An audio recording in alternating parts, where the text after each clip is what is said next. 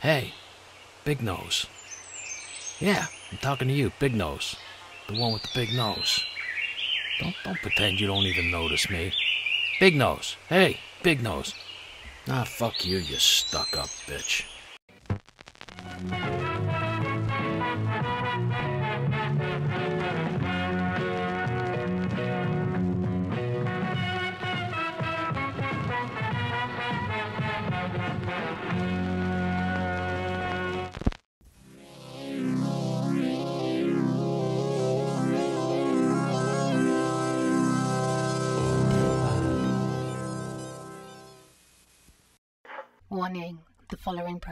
Contains scenes of death.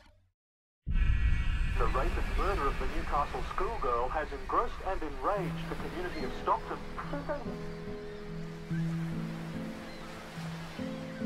She was very young. She was only 14 years old. Violent sexual assault and murder. So it was up there among some of the worst that we've seen. After a three-month investigation, 18-year-old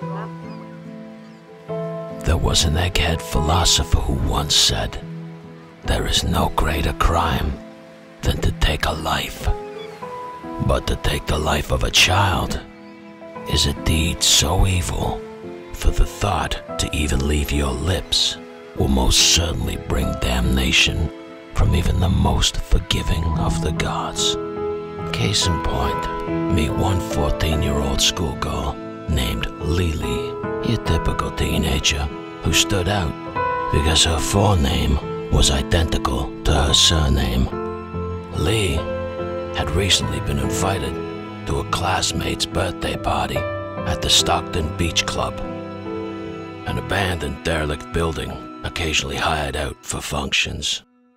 Witnesses testify that Leigh Leigh and her best friend had arrived at the party at approximately 6 p.m.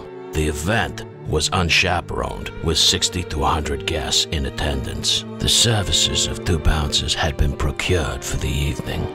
Handsome. The girls, aided by a bottle of Jim Beam whiskey mixed with Coca Cola, were heavily intoxicated. Leigh had been given permission by her parents to stay till 11. If testimonies are to be believed, she was one of a few underage girls invited to the party for the sole purpose of getting drunk and fucking. At approximately 10 o'clock, it was witnessed her being carried out to the beach by a teenage boy whose identity is now protected, claiming that he was going to fuck her. 20 minutes later, she returned from the darkness, distraught, blood running down her legs, screaming, I've been raped, I'm pregnant. This is when 19 year old bouncer Guy Wilson said, Hey guys, Leigh is a slut. We might as well all get some. It is then the witnesses reported a group of 10 to 15 males circled the girl, kicked her, pissed on her, spit, and poured beer. As she threw a beer bottle at the group and attempted to leave, the bouncer, known as Fat Matt, grabbed her arm and dragged her into the darkness, laughing. Let's all fuck her. And the hungry mob followed. Perhaps no one will ever know what happened to the girl with two names the same out on the sand dunes that night, but it is believed that she was raped by up to 15 teenagers. Then her face and skull bashed in by a large rock. Fat Matt said his confession had been beaten out of him and that he didn't have sex with the girl, that he'd only finger fucked her. But he must have had big fingers because he ripped her from pussy to asshole. He said that he'd killed the girl because he was afraid that she'd tell people that he raped her. Refusing to implicate anyone, Fat Matt took the fall alone. Three teens were charged, only two served time, and none of those charges were for rape.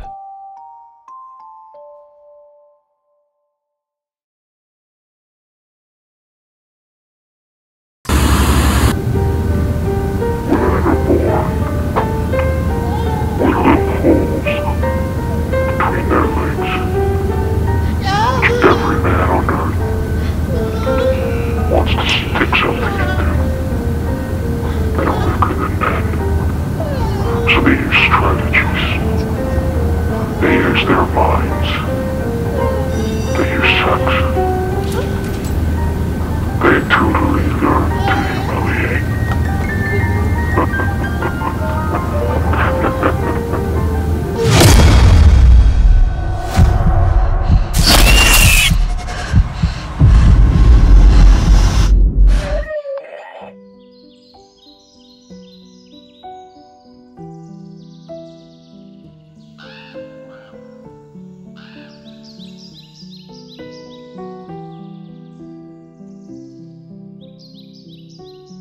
Queensville, about 50 minutes outside of Toronto. And I guess you could say it's an old fashioned kind of place. Type where everybody knows each other. In a good way. Where you can leave your door unlocked. Where the variety store hands out candy on Halloween and knows each of your kids' names. It was nine year old Christine Jessop who was returning on the bus home from school. In the five minute ride, she got off at about 3.40. Her mother and her 14 year old brother were out shopping and wouldn't be back till later. She'd gone into the corner store, carrying her school recorder in one hand, her bag in the other, and bought herself some bubble gum. And Christine's death clock was now ticking.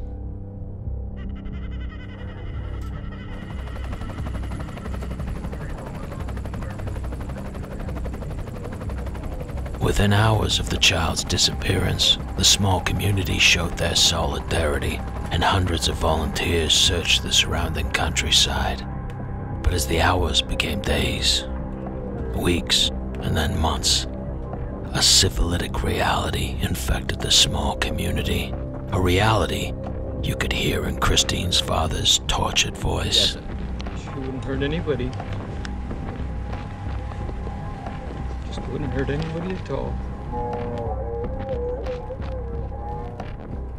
It was 89 days later that they would find Christine Jessop's mutilated body. A body that was so mangled, the only way her parents recognized her was by her white bobby socks. Raped, sodomized, her chest had been cut open with all her insides pulled out. And a killer had attempted to cut her head off and had given up and it was just hanging from its spine. The small town cops had a big city predicament. Up till now, their only unsolved crime was who broke the window down at Stanley's hardware store. But now, they were looking for an honest to goodness pedophile killer. One who liked chopping off children's heads, but weren't very good at it. And I guess they were worried that he were going to become good at it, as practice makes perfect. And although it seemed almost inconceivable, they figured it had to be someone from their tight knit community because anybody else would have stood out like a quadriplegic stripper. So it was on Valentine's Day, 15 days after they'd found Christine's body, they showed up at the Jessop's place to ask a few more questions. It's at this time detectives heard someone blowing on a clarinet. When they inquired, they were told it was the Morans, their neighbors, Guy Paul Moran to be precise. So the detectives went over, knocked on the door, and introduced himself, and told Guy that that was a real nice tune that he was playing. A bit fruity, but nice. Guy thanked them, and then that was the last of it. And as detectives John Shepard and Bernie Fitzpatrick drove away, Fitzpatrick made a cryptic entry in his detective's notepad. Paul Moran, clarinet player, weird type guy.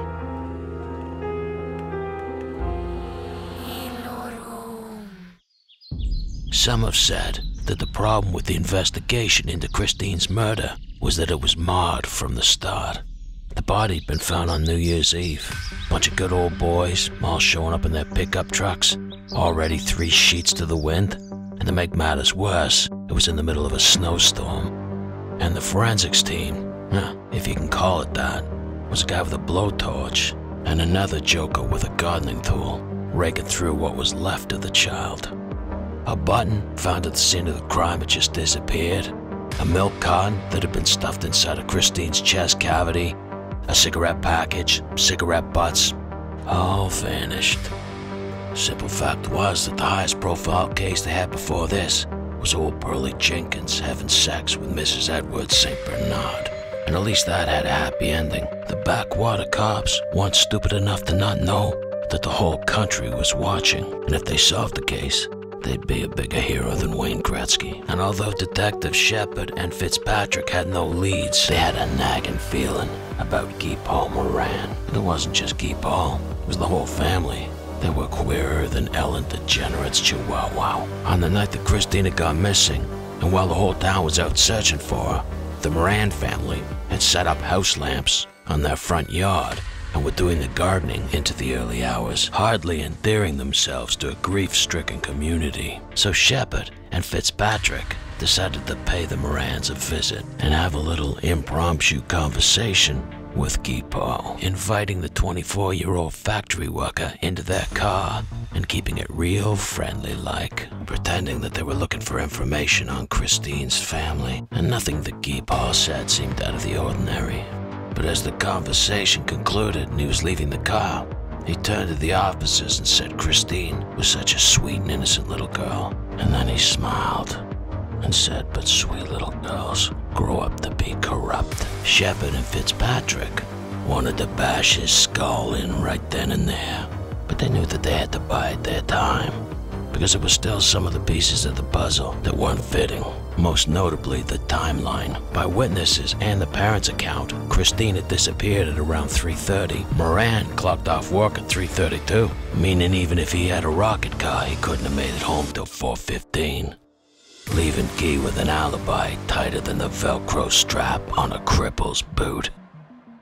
So if they were going to make this thing work, detectives were going to need the Jessops to be a little more flexible with their timings. Because the Jessop's son Kenny had told the investigators that he and his mother had arrived back at exactly 4.10. He'd seen it on the clock, and that Christine had already been abducted. Guy Paul's own parents said that he hadn't arrived home till 5.30, and he brought groceries with him. So unless he had a time machine, that didn't give him a lot of opportunity to rape, torture, and brutalize a young child, and then be home for dinner. So with the help of Shepard and Fitzpatrick, Kenny and his mother changed their arrival time to as late as 5.30, saying they weren't sure. Now after putting Guy Paul's alibi in question, detectives held a press conference trying to roost Guy Paul. He lost control of himself and murdered her.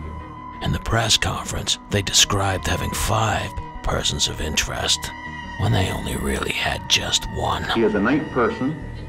In fact, the only thing that Shepard and Fitzpatrick left out when describing the killer was that his name was Guy Paul and he played the clarinet. It was five days after that press conference that the two hero detectives arrest Guy Paul Moran, fittingly on the way to clarinet practice. And the shit eating smile disappeared off of his face. It's at this point that a more discerning of minds might query what real evidence did the prosecution have? Yeah, sure, they had a bucket load of jizz, but they had no way of telling if that were the clarinet playing variety. Because in 1985, DNA was just a fancy set of initials. And you bet your sister's sweet ass that Guy was a weirdo. But it wasn't no fucking crime to be a nutcase. When police combed over Moran's car, they found fibers from the kid. Five, to be precise. But that's not a shocker, since he was neighbors with the kid. The prosecution, knowing that they didn't have a lot, tried to work on getting jailhouse snitches to get a confession out of Moran throwing out deals like a bunch of used car salesmen. From the snitch's surveillance tape, Guy Paul can be heard repeating the word red rum. Red rum, which is murder spelled backwards, from the Jack Nicholson movie The Shining.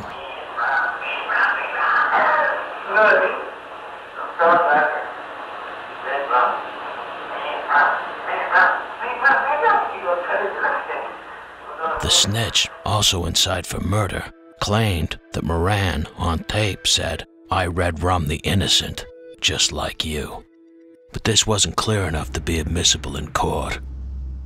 Prosecutors had no problem in painting Moran as a creepy individual whose closeness to his family made other people uncomfortable, who liked tending to his beehives and fixing up old cars. And as for pussy, investigators wanted the public to believe he wasn't interested in it, unless it was nine years old and he killed it first. But it seemed to many outsiders the cops had made their arrest, and now they were trying to build their case.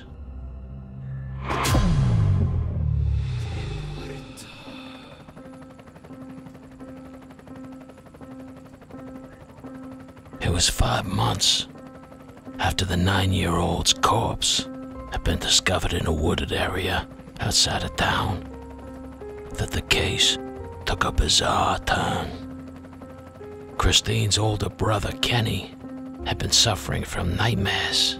His sister, Christine, had been appearing to him in his dreams, telling him that her soul could not rest because she had not been properly buried. So, under his dead sister's direction, he and his parents went out to the place where she was murdered, and remarkably, they found more of Christine's remains and they brought them to the police.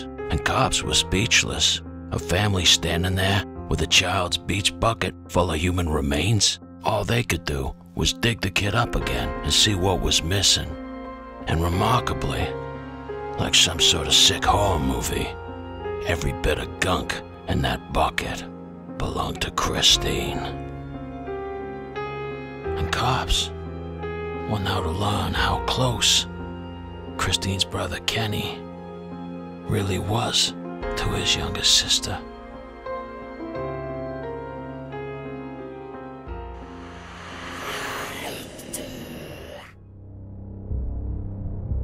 When detectives Fitzpatrick and Shepard asked Kenny what gives and how he knew where the rest of his sister's stiff was, well, Kenny came clean and confessed. He told the cops that he and his sister had been lovers, and not just an occasional stick and dip. They were long term lovers since she was five years old, and that he and his two amigos had regularly indulged in Christine's charms and had orgies with her, but they also had sex with each other. Real Sodom and Gomorrah. It is then that Detective Shepard turned off his tape recorder and leaned forward and asked Kenny Jessop, Are you out of your fucking mind? Okay, let's put aside that you're fucking your own sister and that you're butt fucking your friends who are also fucking your sister. This gives the murder a whole new motive jealousy, incest, and that's just the tip of the cock.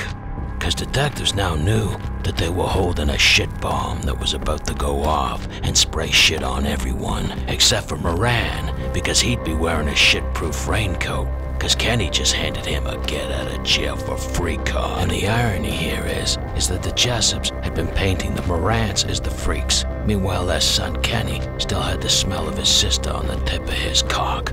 But instead of going public with this information, prosecutors decided to put a cap on it and proceed with the prosecution of Guy Paul Moran. But now they were going forward with evidence that never existed, and if it did, it had been melted away. Well, prosecutors didn't have a snowball's chance in hell, and they had to cut the fruity clarinet player loose.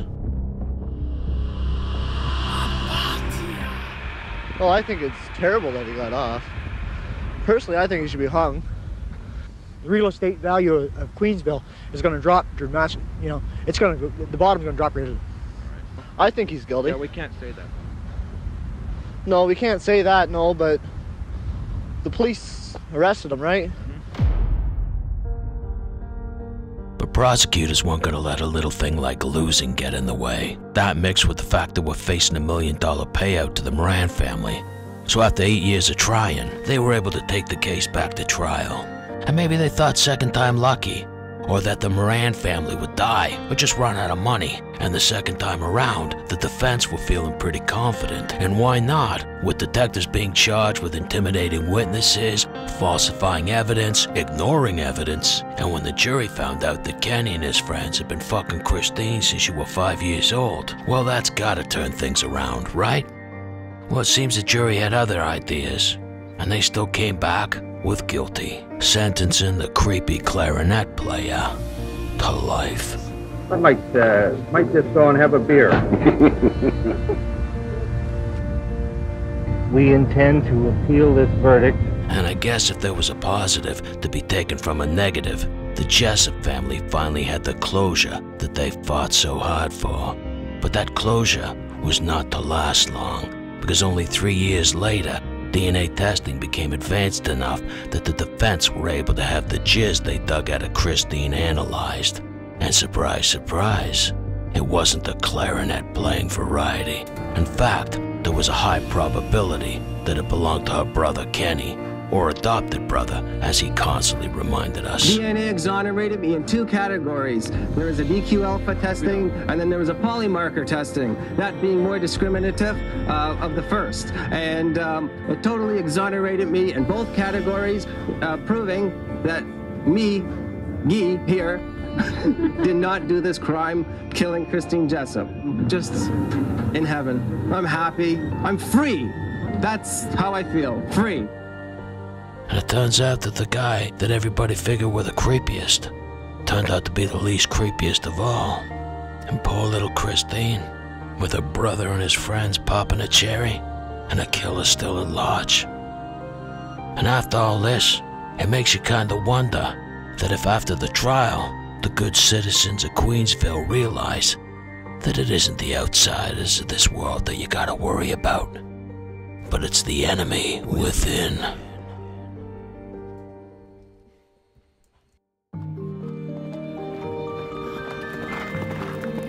Turn of the century France, there was a 50% child mortality rate, meaning if you were 10 years old, you had a 50-50 chance of making it there. Smallpox, measles, whooping cough, diphtheria, shit, even diarrhea'd kill you. And 40% of all children's deaths occurred before they were 5 years old, with 15% not even making it to the age of 1.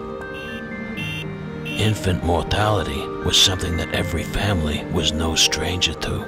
Case in point, meet one Jeanne Weber, a handsome woman, and I guess you could say that she liked the kids. She liked them just fine. Although some may say too much. It was by 1905 that she had three of them to her loving husband. But it was also by 1905 that two of those children had died. This troubled Jeanne's husband so much that he turned to alcohol. Jeanne, being the stronger of the two, at first carried on like nothing had happened. Her and her husband tried to work it out, but I guess she got sick of him moaning about the loss of the children, and she moved on and left their surviving daughter with him. But I guess because she loved children so much, she decided to work with them and become a nanny and a babysitter. But wherever Jean Weber went, misfortune followed. And in three consecutive jobs as a nanny, the children died in her care. But I suppose there's no crying over spilled milk, and Jeanne would just move on to her next job. It's never been recorded whether she received good references or not, but it was after the fourth and the fifth kid had ended up dead. Well, Jeanne started getting herself a little reputation, and jobs involving taking care of children became fewer and far between, so she had to supplement her income by becoming a prostitute. But sucking cock could never take the place of children. That would always be her first love, and she'd still pick up the odd childcare job. But it was always short term. It was in 1907 that a physician was summoned to a home where a nine-year-old lay dead. The doctor saw bruises on the young boy's throat and called the police. It was then that Jeanne Webb was arrested, but a lawyer got her off just as quickly when they argued that the boy had died of typhoid. It was two months later that a husband and wife returned early from the theater and came in and saw their babysitter standing over their son with one hand strangling him and the other stuffed up a pussy, fingering herself. The distraught father had to punch the babysitter in the face three times before she'd loosen her grip on his son's lifeless body. Why stop at three times? How about four, five, six, seven, and eight? Enjoy yourself. When cops were called and they investigated the finger fucking killer, they found out that at least ten children, including two of her own, had met their demise due to her sexual gratification. This time the babysitter who was good with her fingers didn't get off. Well, I guess she did, but you know what I mean. Found insane and committed to an insane asylum. And it was there two years later that she strangled herself to death. When they found her, pussy juice was running down her legs.